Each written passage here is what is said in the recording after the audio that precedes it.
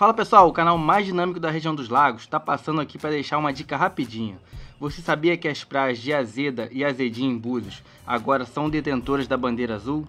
Mas o que isso significa? Vou resumir para vocês.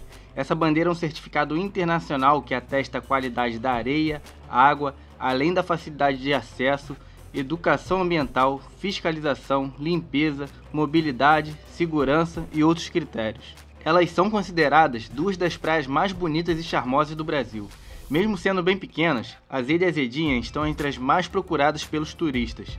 As praias formam uma grande piscina de águas cristalinas e de areia dourada. A escadaria que leva à Praia da Azeda, que agora encontra-se com a bandeira azul pendurada no mastro, está entre os mais belos visuais de Búzios. Uma outra informação é que também temos um novo acesso até a praia, não sendo mais obrigado a descer por essa escadaria. Esse novo caminho faz parte de uma das exigências da bandeira azul. Outra dica é que, devido às águas calmas do mar, são ótimas para relaxar com a família. Existem lindas piscinas naturais, ideais para o banho e perfeita para as crianças brincarem. Há ainda algumas boas sombras de árvores no local.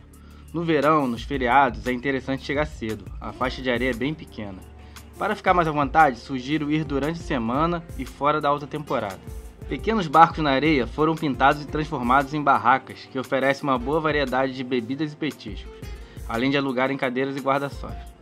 Uma outra opção é levar tudo o que achar necessário para passar o dia. A beleza das praias continua debaixo d'água com a vida marinha através de um belo mergulho. Você também poderá usar o stand-up e caiaques que podem ser alugados no local.